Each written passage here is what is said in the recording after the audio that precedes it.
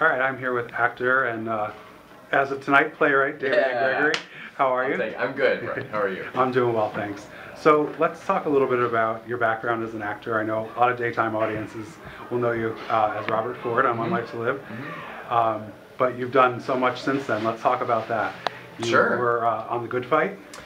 On the good fight, somebody said, they said, "Oh, I'm so proud of you." Let me shut this door just in case you can't hear. Okay. Um, they said, "I'm so proud of you for you know it's a great show and it's it's it's great writing, which it is. Mhm. and um, you know to play a lawyer on the good fight, you have to be a pretty good actor." And I was like, "Ah, it's funny because I'm not playing a lawyer.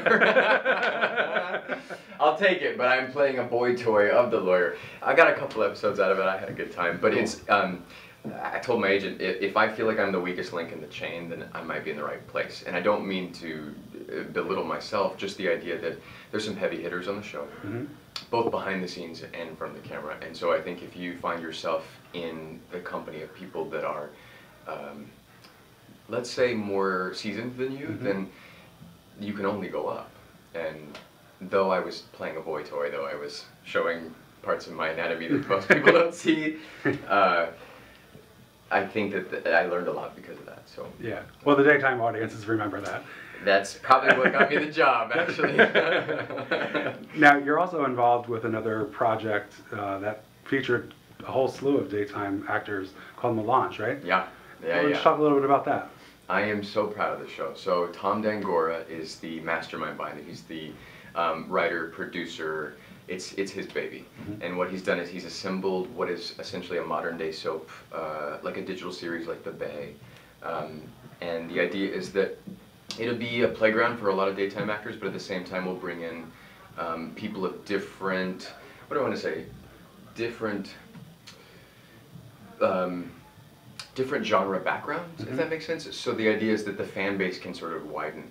We shot the pilot early August, huge all-star cast, and um, I think they're they finished editing it. They're shopping it around, trying to get it on either. I don't know if I can say the platforms, but the platforms that you all know and love that Uh-huh. you want to watch uh, your shows on. and the idea is uh, maybe by this time, hopefully by next year, maybe we could have the whole thing in the can. I think the first season would be eight episodes. He's already got them written out, and he has a, a great plan. And that's another situation where I feel like maybe I'm, I don't want to say the weak link, just because saying that too often is, is bad for your psyche. But Mhm.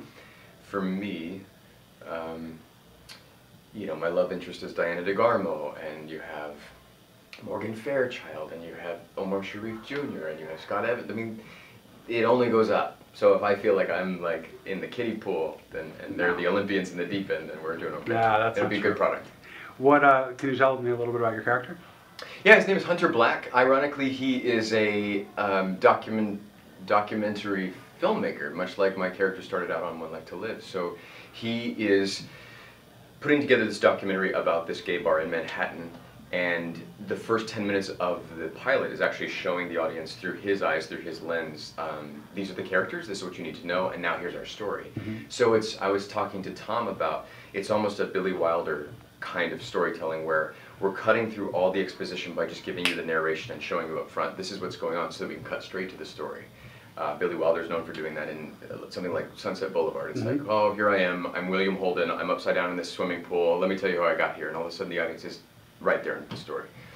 So, it, yeah, without giving too much away, um, that's me. Apparently, I, oh, and I got to shoot uh, with my own camera. They gave me a camera and Nice. they said, you're going to be this document, this documentarian, but you're also going to be someone who's shooting real footage that we're going to use. And I was told recently that they got to use some of mine, so I didn't mess up too bad. Maybe I have a career as a There you go. as a If DP the acting doesn't work out. We'll see. now, why don't we talk about why we're here?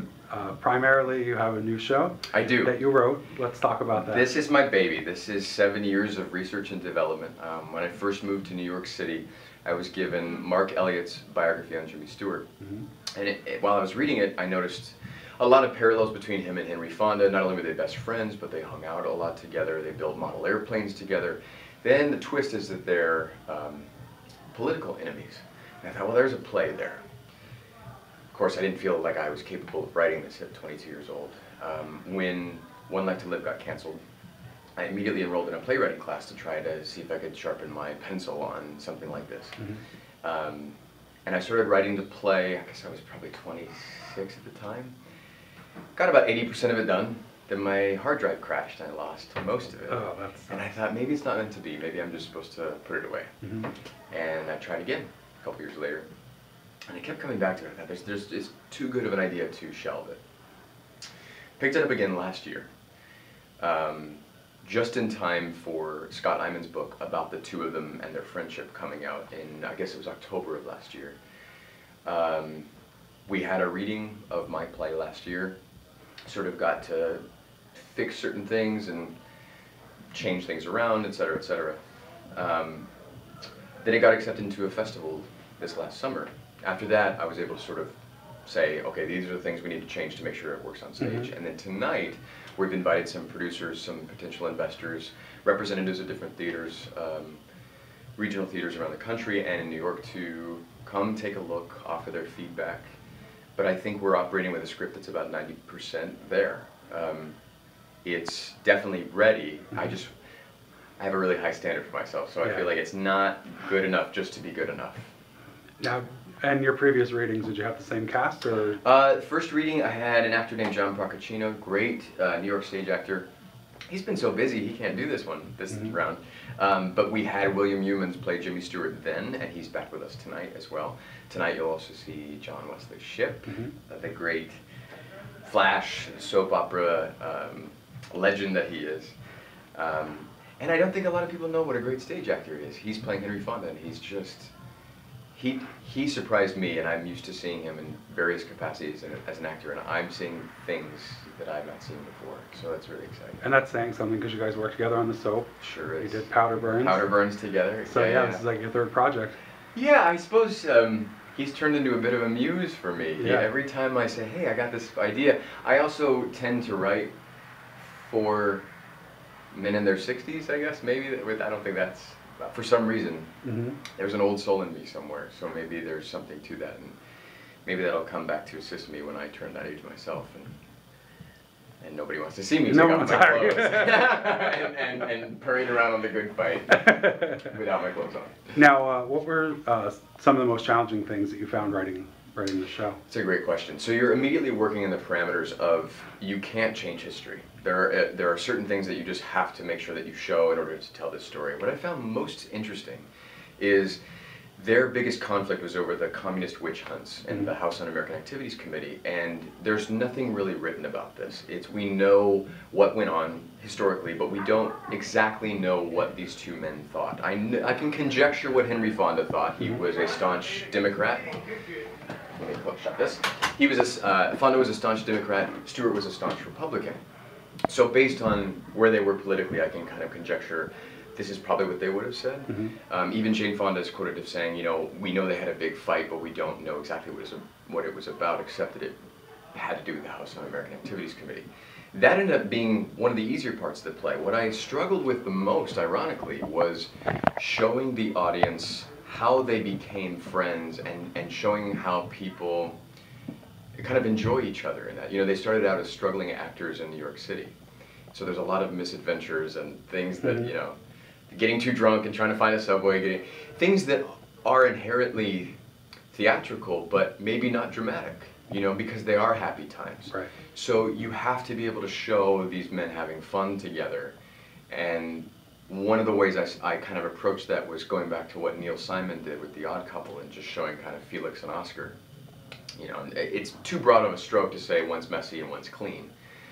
But Jimmy Stewart is definitely the more, well, no, we have to do things a certain way. And Fonda's like, no, who cares? We gotta mm-hmm. try it this way. And so you all of a sudden get a dynamic that's familiar to everybody in a friendship. You also, this is just from some situations I've been in in LA with friends of mine. The closer you are with someone, almost the harder time you, that you, you give them. Mm-hmm. So if you really want what's best for them, if you're really pushing at them, you're gonna kind of butt heads a little bit more than you think.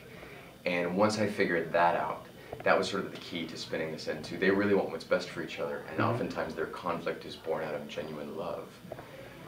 But I think what I want the audience to walk away with this play, um, what I want them to walk away with is we're in a time of political upheaval, and um, there's not a lot of crossing the aisle and listening and understanding, and there was a way of arguing that included some amount of dignity. hmm And these men had that, but we don't have that anymore. And so maybe this play can help assist in holding the mirror up to our country today. I don't want to beat people over the head with it and say, you know, this is how we're supposed to act. But, you know, nobody wants to go to a theater and, and hear the things that, that they're trying to escape from. Right. And that's why it's important to have the fun part of this play kind of come back into play. And, and so hopefully I balanced it well enough. Um, like I was telling you before we started rolling camera, I don't think I believed in something as much as this play. And uh, for whatever reason, maybe it's my love letter to the baby boomer generation. Maybe I'm that screenwriter in Sunset Boulevard who's face down in the swimming pool, come back to life. Maybe I'm reincarnated, and that's why I feel so strongly about that generation. But golden age of Hollywood is is something that I think is lost too, and so maybe maybe this can help bring it back a little. What a- what age ranges are the guys in the play? So the play takes place in 1969 when they're shooting the, Cy- the Cheyenne Social Club, which is I think the last western they shot together. Mhm. So currently in the Vietnam War, they're in their early 60s, Okay. um, but they will flash back and play early 20s. So it's a stretch for the actors as well to kind of. Um, it's a very. They're both very physical roles. They have to be able to be very agile and very. Um, you know, I've got them crawling around on the ground. I've got them jumping up and a whole bunch of things. Because these men were also very agile. And what is fun to think about is that both of the, these men in real life love to be on stage. So then we have two men who love to be on stage being portrayed by two men who are on stage. And maybe there's a little bit of inception that happens where this play is supposed to be inherently theatrical. And I get very excited about that. Someday I'll turn 65 and I was I'll just get to play. Oh, Did you think? Well, did you think that you could play the younger version and then age yourself up? I, I, I thought it? about it for a second. I Mhm. think um, any producer looks at this script and goes, oh, two actors in one set, that's pretty uh, inexpensive to produce. That's what I want.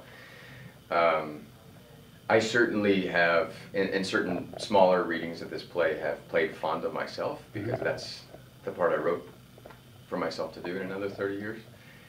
Um, I would love to do it. I just, for whatever reason, this particular idea speaks to me a lot and call me crazy, but I think it's better to put it in the hands of men that have have the age is in their body. Do you know what I'm Mhm, saying? That they've been through these experiences and the guy, these guys just knock it out of the park.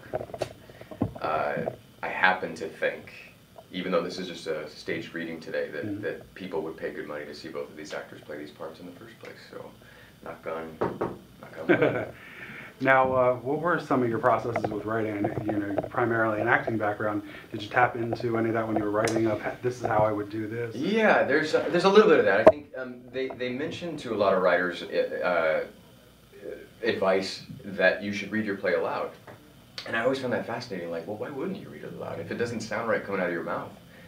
Then you got to change it. Right. But I think I like to think of writing similar to acting in the sense that you know you see um, Daniel Day Lewis play Lincoln, but you also see him in Last of the Mohicans, and he's Mhm. vastly different in both of those roles. So he puts on kind of a different hat and goes, "All right, I'm gonna switch gears now." So a good writer, I think, should be able to do the same thing, and sit down and go, "How do these men talk?" And I'm lucky and and um, trapped by the idea that the, both of these men are so well known to the public that you kind of do have to write like what it's perceived that they talk like already. Mhm. And we address that in the play is that yes, they have an image that's on screen, but that image may not also be the person that they are. Most people that um, ran into Stewart off screen said, no, what you saw up on screen is the, the man that you got. But Fonda liked to say his was a little different. He's like, I don't think I'm nearly as nice a guy as the man up on the screen. So I would just watch a lot of their movies, try to ingest that and go, I'm just, a, I'm just, as an actor, I'm just gonna put on that, that helmet, that mask, whatever that is, and say, all right, well, this is how they would talk.